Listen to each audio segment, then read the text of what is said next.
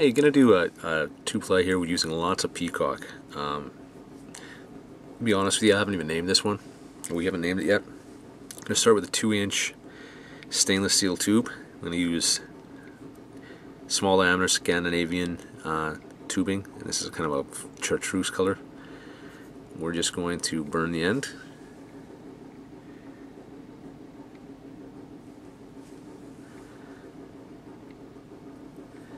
Okay, burn the end.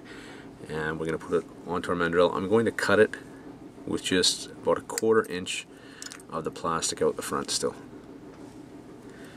Okay, we'll put it onto our mandrel or pin, whatever you want to use.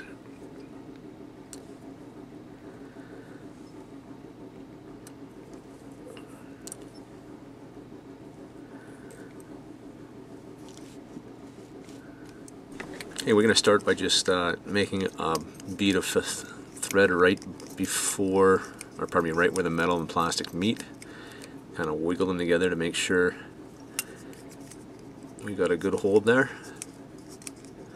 You can see when, when you make that bead, the plastic or metal both won't twist now. I'm going to go back uh, maybe about a quarter inch on the metal tube.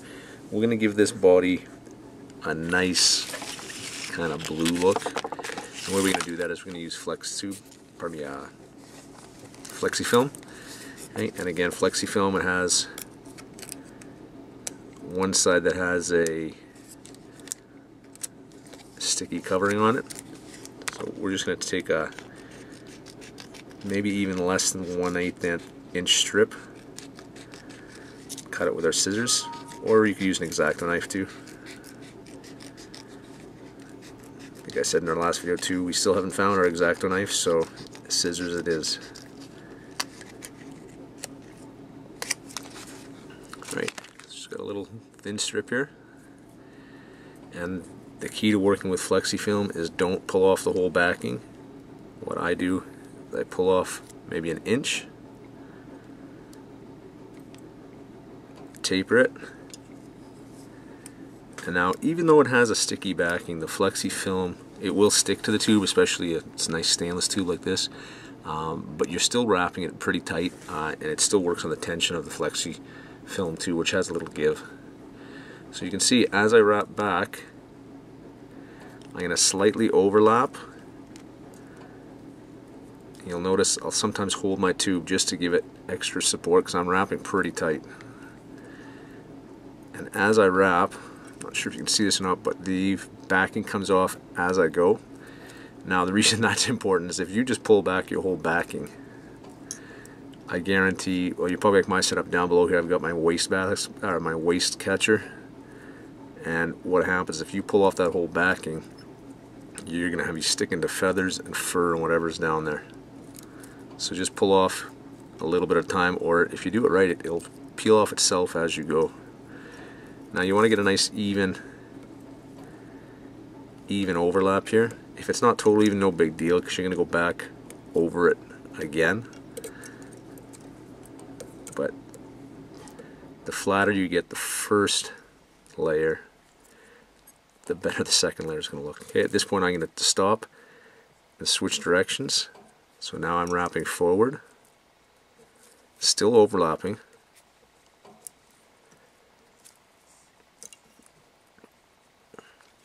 I've actually got a friend that has a nice rotary vise and he will put this on in a rotary style and just spin the whole the whole vise and let you know let the device do the spinning action for him. At this point I can pull the whole backing off.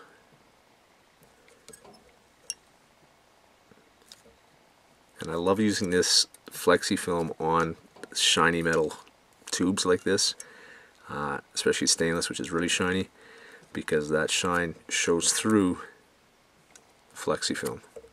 Kind of makes it glow a little bit. I'm sure you've seen it on other videos. Okay, and even though it sticks still gonna tie it off.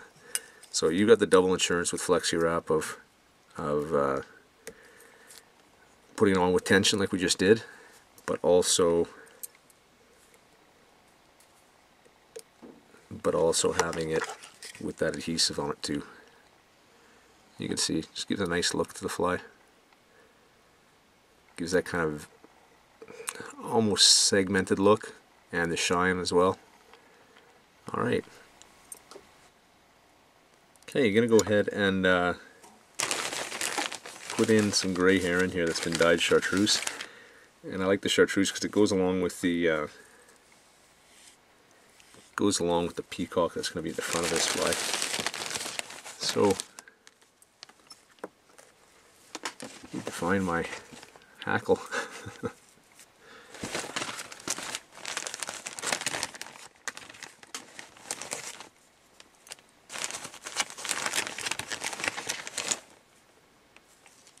Alright, here we go. So some chartreuse gray hackle. Sorry, that is gray hackle that's been dyed chartreuse, not to confuse anybody. And pull back the fibers, pull back the fluff. And we're going to tie it in by the tip.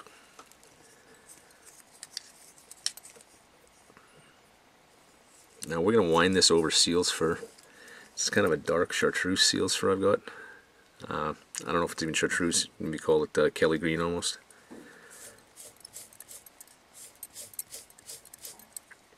And again, you can use a doubling loop if you like. Um, I'm not too worried about it. You know, I always I always like to say I, I like to put seal on really loose, so it kind of has that space in behind it for the light to reflect. It's one of the main reasons for using seal in my books. Uh, when you use a doubling loop, it can get kind of kind of compressed.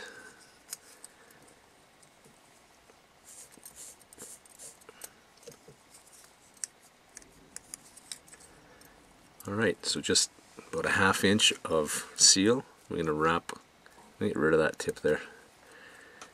Going to wrap ahead with our chartreuse heron. And these heron fibers are really long, so you kind of have to pick it out as you go. Nothing worse than, than using a beautiful feather and then have it all matted down.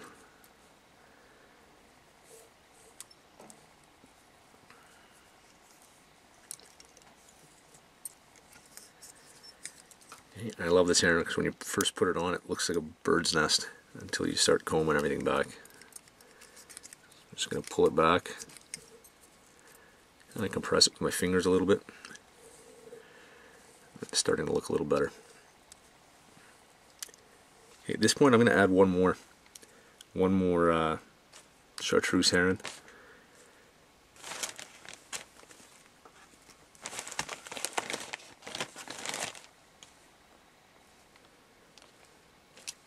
This time I'm going to use a feather that's a little bit smaller because I just want to build some bulk around the front. I don't want any more longer fibers.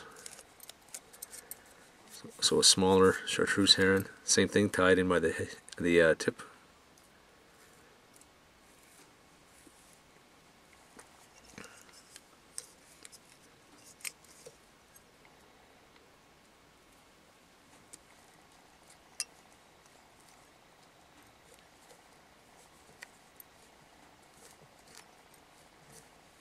I'm just going to wind it forward. Just gives a little more, uh, more bulk to the front of the fly, I guess you could say. Hey, same thing, going to pull it back.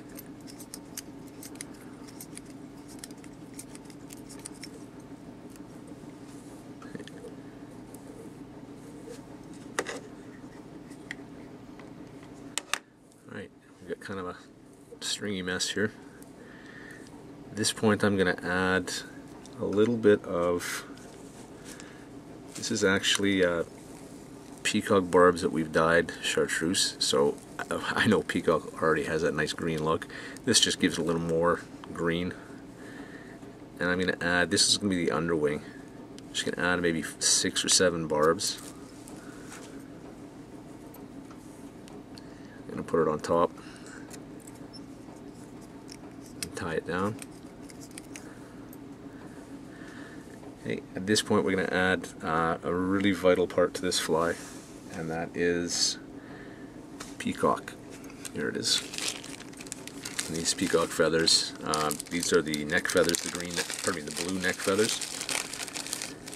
And you can see they got a really beautiful look to them. So we're going to add, the only problem with blue peacock neck feathers is they're very small. You can see that's it. So I'm probably going to add two, maybe even three. This is just kind of the final collar on the hackle. Again, tied in by the tips. You're going to peel the fuzz away.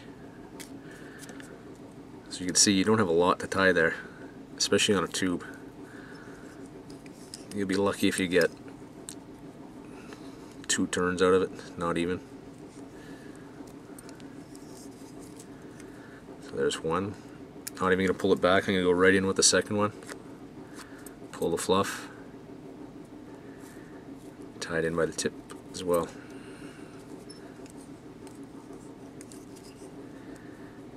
And I think I've said it before in videos, there's just absolutely nothing in the fly tying world that replaces the look of the purple and greens from Peacock. There's just nothing at all that replaces it. Okay, now I'm going to pull everything back. And if I'm happy with it, we'll leave it at that. If not, we'll go in with another one. And I mean, you don't want this to be the focal point of the fly, you just want it to give it a little kick of that green or blue. Yeah, and that looks good. Hey, at this point, we're going to go more peacock. So we use peacock herl here, we use uh, peacock neck feather, we use, these are peacock swords. So we're going to take and for a longer tube like this, we need a pretty big sword. So there's a pretty big one.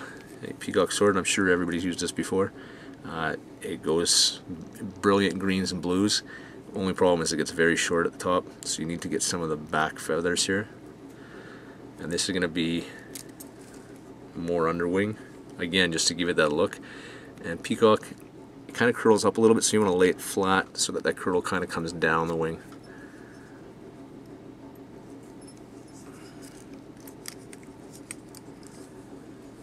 I'm going to add some more. And again, this isn't by any means the final wing. This is just kind of a, give a little bit of splash of peacock to the to the overall look of the wing.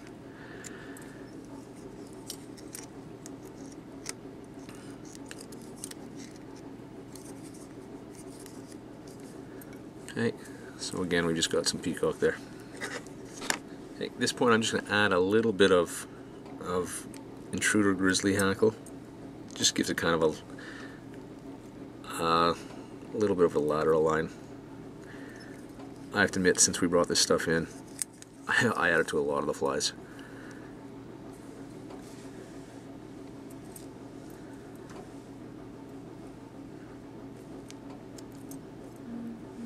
Okay, so one on each side.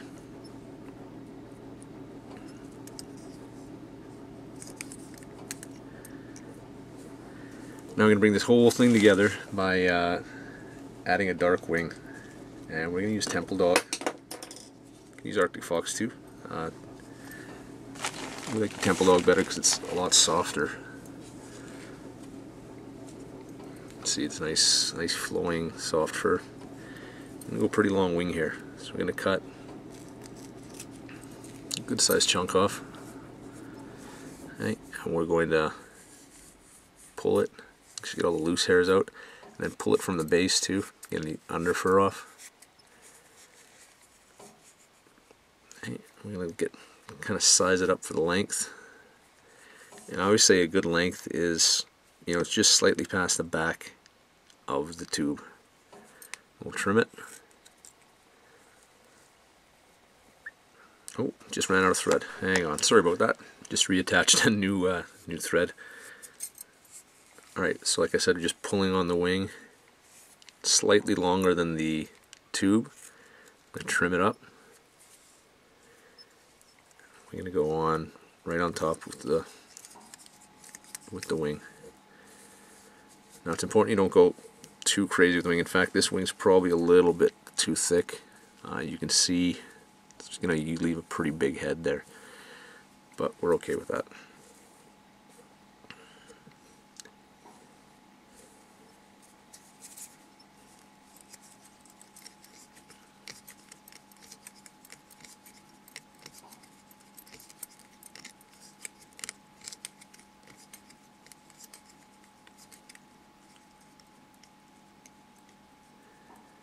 You know what? We're not okay with that.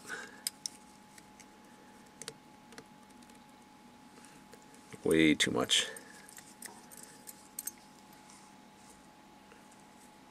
Cut some of that back. There we go.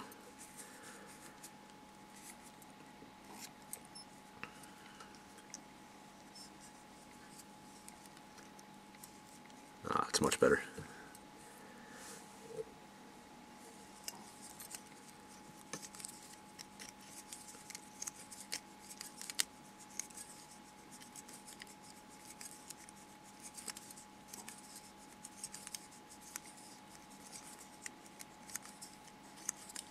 All right.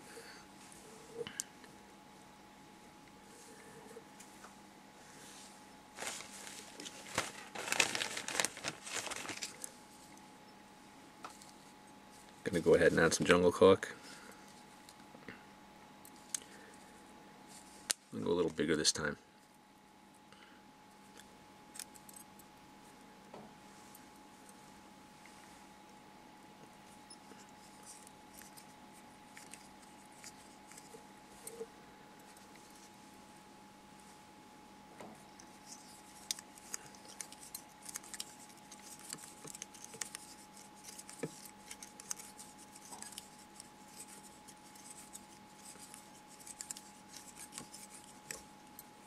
All right.